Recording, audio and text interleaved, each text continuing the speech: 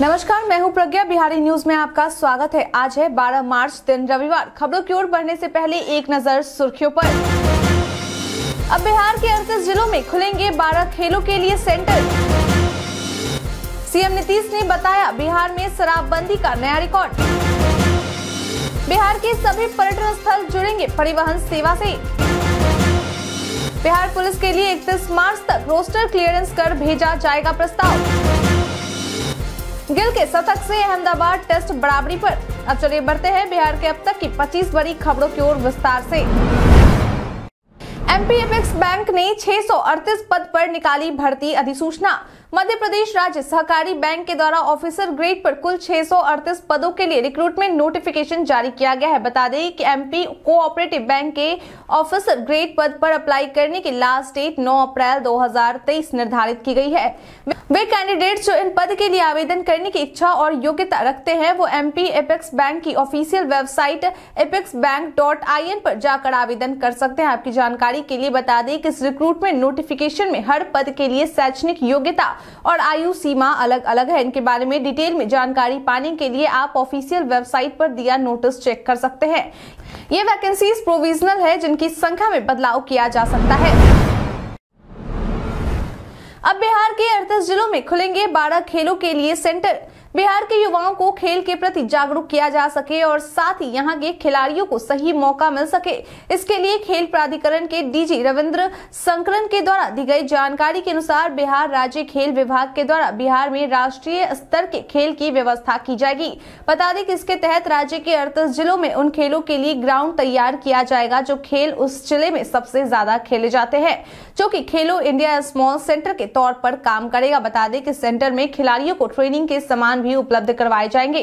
और साथ ही वैसे खिलाड़ी जो ज़िले से चयनित होकर आएँगे, उन्हें सेंटर ऑफ़ एक्सलेंस में रखा जाएगा और उन्हें अच्छी ट्रेनिंग भी दी जाएगी। मालूम हो कि ऐसे खिलाड़ियों को यहाँ से अंतर्राष्ट्रीय स्तर के खेल में हिस्सा लेने का भी मौका मिलेगा। इन सब के अलावा यहाँ खिलाड़ियों को ट्रेनिंग देने के लिए कोच की भी नियुक्ति की जाएगी। बिहार के सभी पर्यटन स्थल जुड़ेंगे परिवहन सेवा से।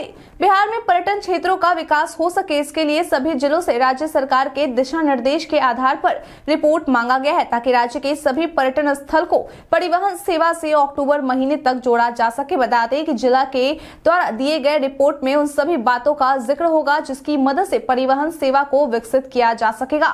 वहीं पर्यटन क्षेत्र को बढ़ावा देने के लिए निजी भागीदारी को बढ़ावा दिया जा सकेगा और साथ ही इन क्षेत्रों में बड़ी से लेकर छोटी गाड़ियों तक का परिचालन किया जाएगा। बता दें कि पर्यटन स्थल को परिवहन सेवा के साथ जोड़े जाने पर पर्यटकों को पर्यटन स्थल तक पहुँचने में किसी प्रकार की दिक्कत का सामना नहीं करना होगा। इस योजना से जो भी बस संचालक जुड़ने की इच्छा रखते हैं, उनके लिए विभाग की ओर से आवेदन की शर्तें जारी किए जाएँगे। इसके अलावा विभाग की ओर से भी अपने स्तर पर बसों का परिचालन किया जाएगा। बिहारी बर्थडे स्पेशल में आज हम बात करेंगे कल्पना सिंह चिटनिस के बारे में। कल्पना सिंह चिटनिस का जन्म आज ही के दिन बोधगया में 1966 में हुआ था। यह एक इंडो अमेरिकन कवित्री, लेखिका, अभिनेता और फ़िल्म निर्माता है। कल्पना सिंह चिटनिस बेयर सोल और हिंदी में तीन कविताओं के संग्रह की लेखिका है। इन्होंने 21 साल की उम्र में पहले अपने पहले कविता संग्रह चाँद का पैबंद के लिए बिहार, भारत सरकार द्वारा दिया जाने वाला प्रतिष्ठित बिहार राज्यसभा पुरस्कार जीता था। इसके अलावा इन्हें उन्नीस सौ अट्ठासी में बिहार श्री का खिताब से भी नवाजा गया। साहित्य और सिनेमा में उनके योगदान के लिए उन्हें 2014 में Rajiv Gandhi global excellence award भी मिला था और लेवर लिटरेरी पत्रिका द्वारा ऑनर ऑफ़ ईस्ट लिटरेयर के लिए उन्हें नामांकित किया गया था। कल, कल्पना की साहित्य कृतियाँ भारतीय उपमहाद्वीप यूरोप और उत्तरी अमेरिका में व्यापक रूप से प्रकाशित हुई है। वह लाइफ एंड लिजेंड्स के निर्माता और संपादक भी हैं और पेरिस फ्रांस में लिवर लिटरेयर के संपादकीय बोर्ड में कार्य करती हैं। Champion of change delta ranking के टॉप पाँच में बिहार के दो ज़िले।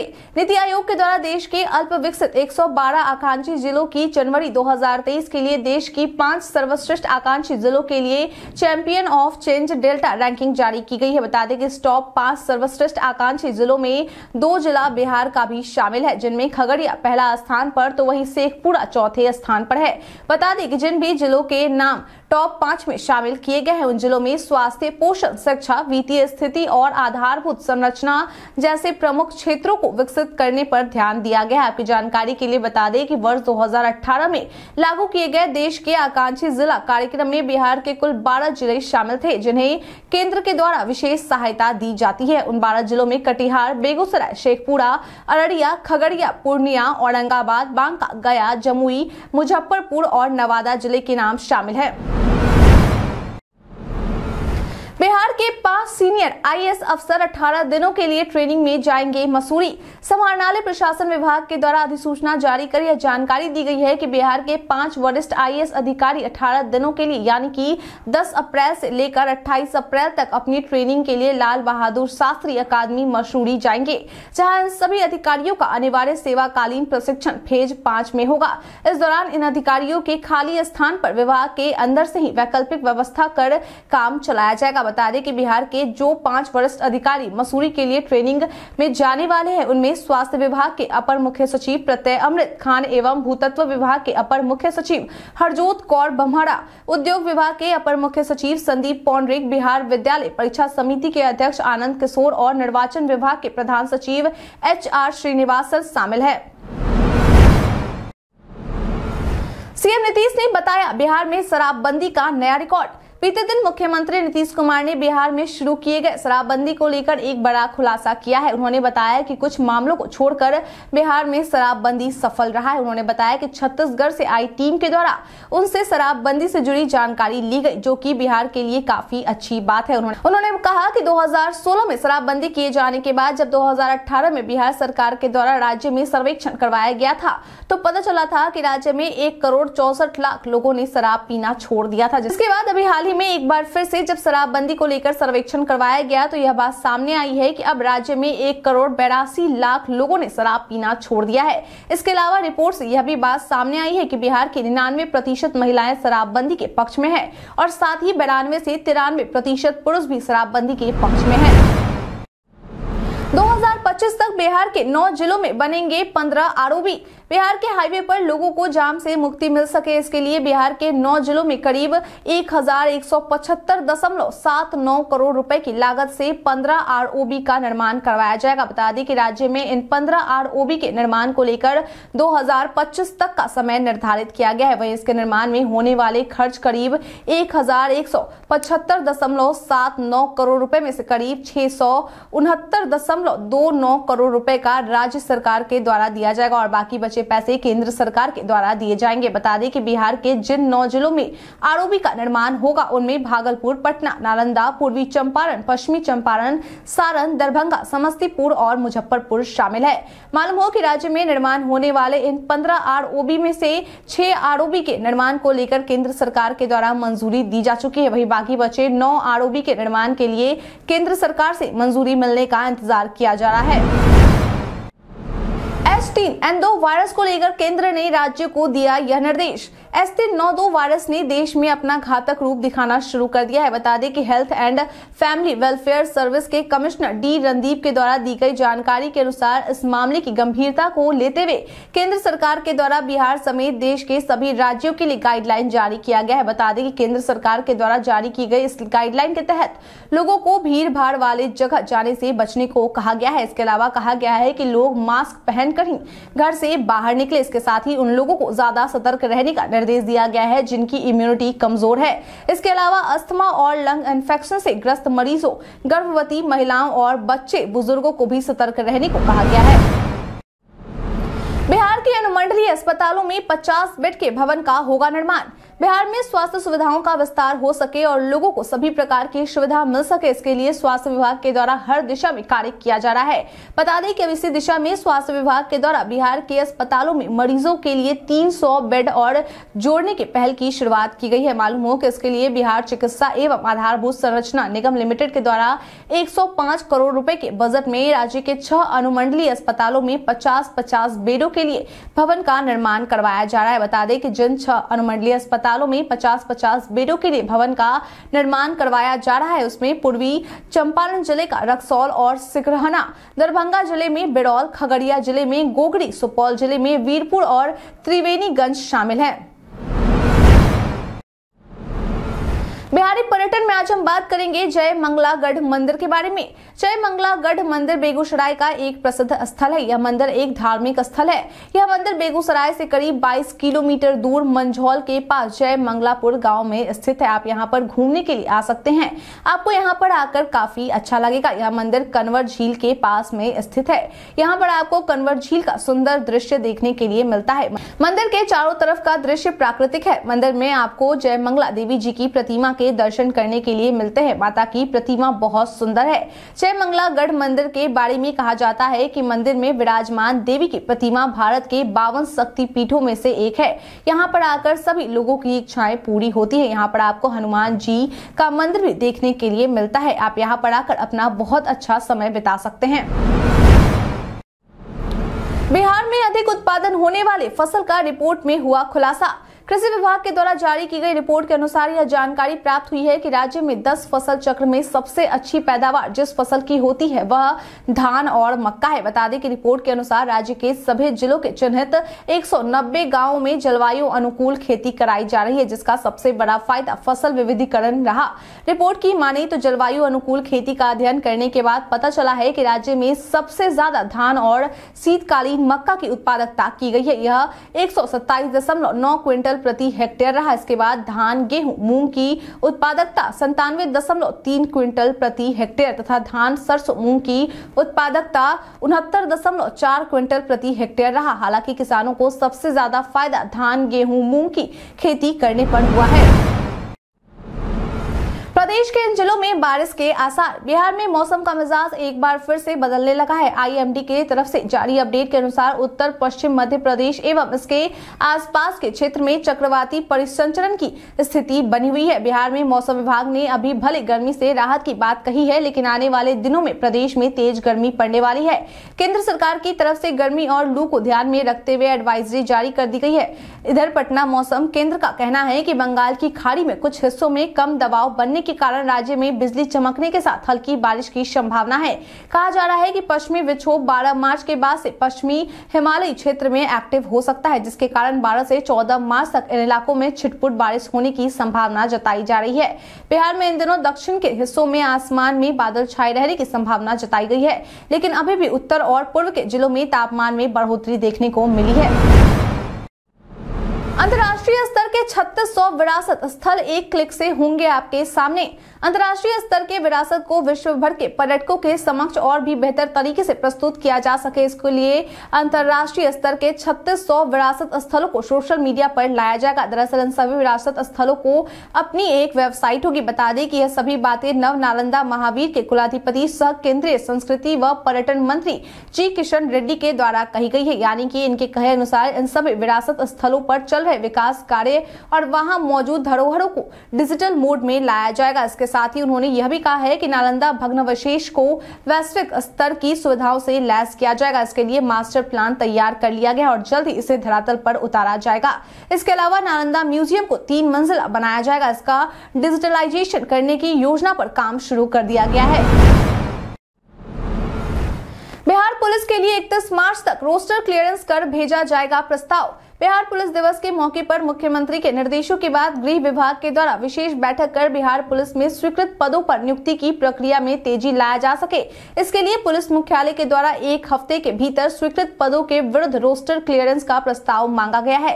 इसके साथ ही रोस्टर क्लियरेंस के साथ नियुक्ति के लिए इकतीस मार्च तक आरक्षित चयन परिषद को उपलब्ध कराने का भी निर्देश दिया गया आपकी जानकारी के लिए बता दें कि बिहार पुलिस में कुल पचहत्तर स्वीकृत पदों पर नियुक्ति की जानी है।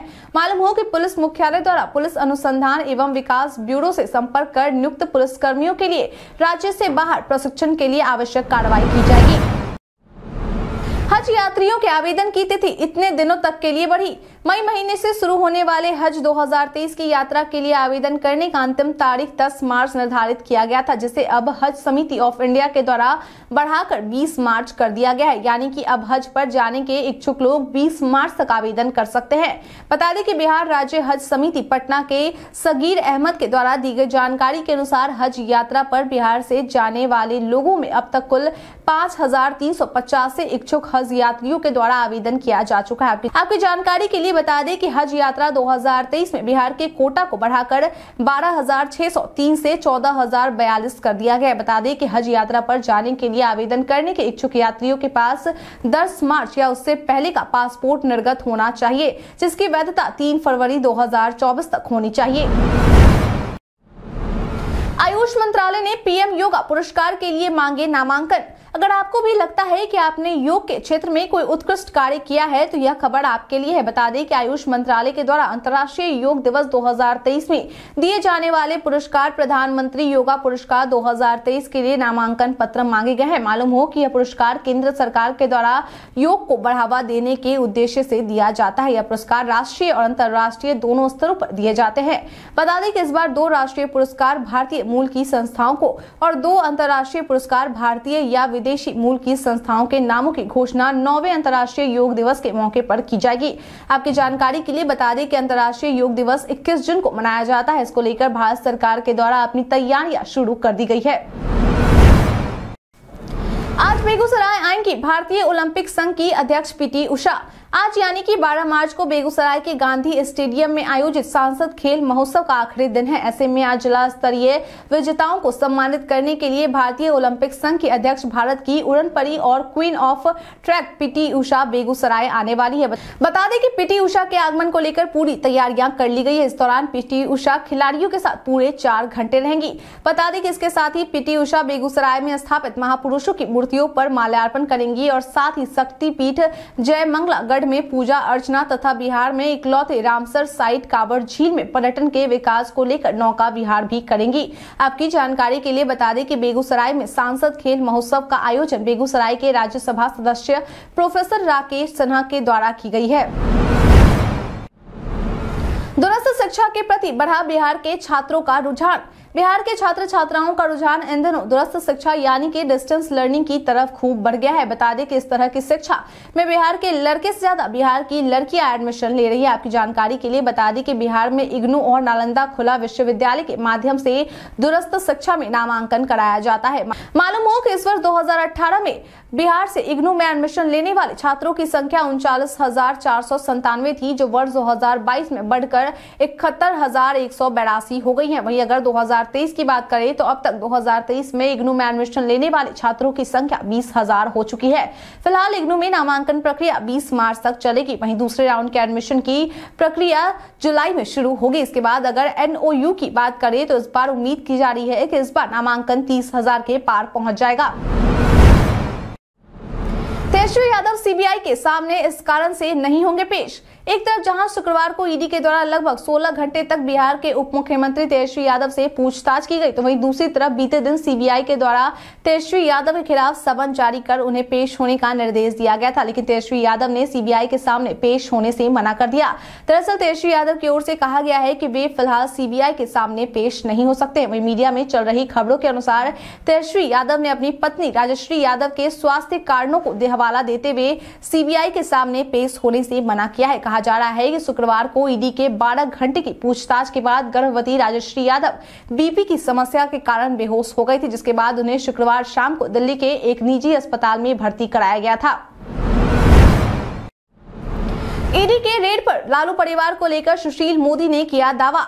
इन दिनों ज़मीन के बदले नौकरी मामले को लेकर ईडी के द्वारा लालू यादव पर की गई कार्रवाई काफ़ी सुर्खियों में है। वहीं अब इस मामले को लेकर पूर्व उप मुख्यमंत्री और राज्यसभा सदस्य सुशील मोदी के द्वारा राज्य सुप्रीमो लालू यादव के परिवार को आड़े हाथों लिया गया है। उन्होंने कहा कि अब लालू यादव और उनके परिवार को कोई नहीं बचा सकता है, क्योंकि अब सीबीआई के पास उनके खिलाफ पुख्ता सबूत है। इसके साथ ही उन्होंने यह भी कहा कि नीतीश कुमार को ऐसा लगता है कि वह लालू यादव और कांग्रेस का समर्थन पाकर प्रधानमंत्री बन सकते हैं, लेकिन उन्हें यह गलत लगता है। उन्होंने उन्होंने कहा कि नीतीश कुमार और ललन सिंह की वजह से ही लालू यादव जेल गए और अगर आज लालू यादव चार मामलों में सजायाफ्ता हैं तो इसके जिम्मेदार भी नीतीश कुमार है। सुशील मोदी ने कहा कि बिहार में तीन सीटों पर हुए उपचुनाव में सात दल मिलकर हमारे खिलाफ लड़े, लेकिन फिर भी बीजेपी ने दो सीटों पर जीत पाली। 2024 में हम देख लेंगे कि महागठबंधन की क्या ताकत है।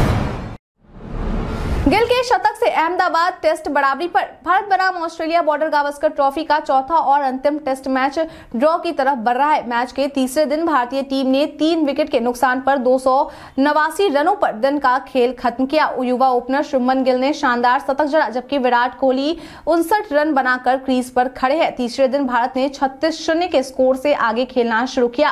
कप्तान रोहित शर्मा के रूप में भारत का पहला विकेट गिरा। वो पैंतीस रन बनाकर आउट हुए। नंबर तीन पर बल्लेबाजी बल्लेबाजी करने आए टेस्ट स्पेशलिस्ट चितेश्वर पुजारा बयालीस रन बनाकर एलबीडब्ल्यू हो गए। वही शुभमन गिल ने अपने करियर का दूसरा टेस्ट शतक जड़ा। गिल ने 235 गेंदों का सामना करते हुए 128 रनों की पारी खेली। इस पारी के दौरान उनके बल्ले से 12 चौके और एक छक्का निकला।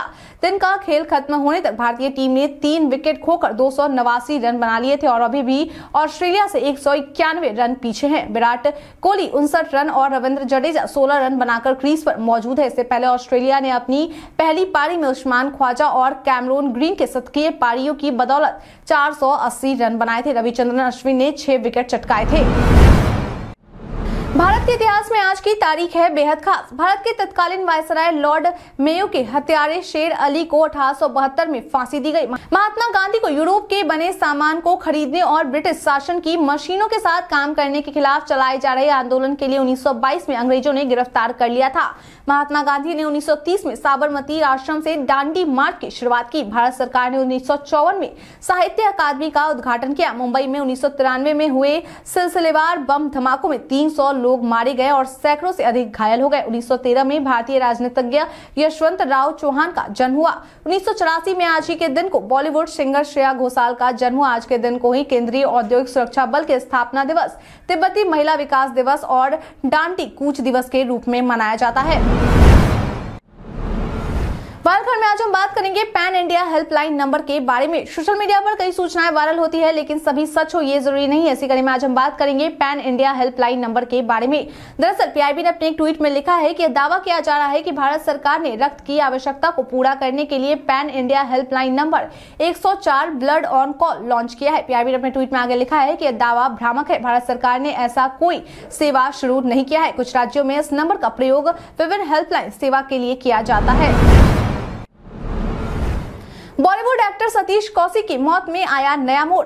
बॉलीवुड के मशहूर अभिनेता और डायरेक्टर सतीश कौशिक का होली के अगले दिन सुबह छियासठ साल की उम्र में दिल का दौरा पड़ने से निधन हो गया था। बता दें कि इस बात की जानकारी उनके मित्र और बॉलीवुड एक्टर अनुपम खेर के द्वारा ट्वीट करके दी गई थी। वही वही अब उनकी मौत से जुड़ी एक बड़ी खबर सामने आ गई है। दरअसल दिल्ली पुलिस के द्वारा उस स्थान से कुछ संदिग्ध दवाइयाँ खोजी गई है, जहाँ सतीश कौशिक अपने होली सेलिब्रेशन के लिए रुके थे, जिसके बाद अब दिल्ली पुलिस उस सेलिब्रेशन में आए। मेहमानों की जाँच में जुट गई है। मीडिया में चल रही खबरों के अनुसार इस सेलिब्रेशन में एक वांटेड बिजनेसमैन भी मौजूद था। हालाँकि अब तक इस मामले को लेकर पुलिस के द्वारा आधिकारिक तौर पर कुछ नहीं कहा गया है, क्योंकि एक्टर की ब्लड और हार्ट संबंधी रिपोर्ट आने में पंद्रह दिन लगेंगे और पोस्टमार्टम की रिपोर्ट आने के बाद ही इस मामले में कुछ नई जानकारी निकलकर सामने आ सकेगी। बीते दिन हमारे द्वारा पूछे गए सवाल का। आप लोगों में से बहुत लोगों ने अपना जवाब हमें हमारे कमेंट सेक्शन बॉक्स में लिख कर दिया है। जिन्होंने हमारे द्वारा पूछे गए सवाल का जवाब दिया है, उनके नाम है महमूद अंसारी, विपिन लाल वर्मा, नुनू गोलू कुमार कुश कुमार यादव, मोहम्मद सकीर हुसैन, इंद्रजीत पंडित दीपक, अर्जुन राम, उमेश श्रीदेव रविशंकर, मृत्युंजय कुमार, योगेंद्र रजक, कौशलेंद्र कुमार सिन्हा, पूजा सिंह, चंदन कुमार, गुड्डू कुमार चौरसिया। इसके साथ ही बढ़ते हैं आज के सवाल की ओर। आज का सवाल है, आपके अनुसार मौजूदा स्थिति को देखते हुए भारत और ऑस्ट्रेलिया के बीच खेले जा रहे चौथे टेस्ट मैच में क्या परिणाम होगा? अब अपना जवाब हमें हमारे कमेंट सेक्शन में लिखकर ज़रूर बताएँ। आज के लिए इतना ही। बिहार के तमाम खबरों के साथ बने रहने के लिए देखते रहे बिहारी न्यूज़। और साथ ही अगर आप यूट्यूब ऐसी देख रहे हैं तो चैनल को सब्सक्राइब करना और अगर आप फेसबुक ऐसी देख रहे हैं तो पेज को फॉलो करना ना भूले। धन्यवाद।